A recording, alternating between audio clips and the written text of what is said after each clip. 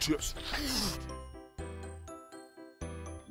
Hi, today I'm gonna teach you how to do a cigarette flip. The first step to learning the cigarette flip is to dress like a professional. So how does one look professional as a skater these days? Well, the key is to keep things rolling. Like the wheel, you want to be smooth, like the wind. So what you're gonna wanna do is take your board here flip it up to the primo side and uh, yeah, that, that's perfect, right, right there. Right then, follow me. Up we go, up we go.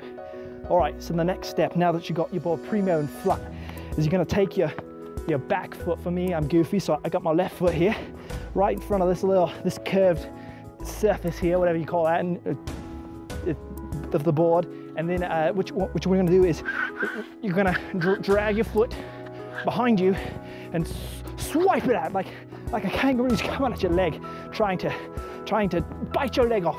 Just, just like that. So just, just like that. Right. All right. Oh, isn't that fun? Right. Acting like I'm young. Anyway, so where were we? The whole leg swipe thing. What you want to do next is hop on as you're doing that. So it's like a swipe and a hop.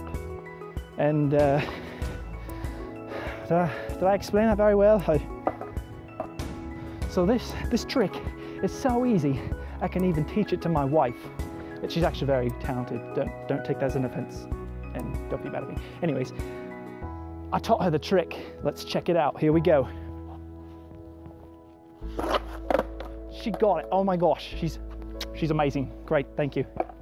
Thank you for your time.